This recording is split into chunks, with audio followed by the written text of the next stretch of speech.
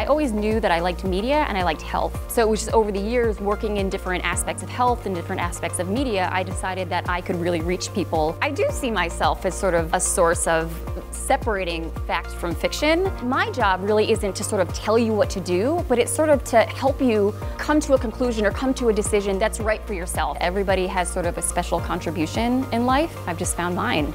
Watch medical reporter Dr. Mary Gillis on WISH-TV.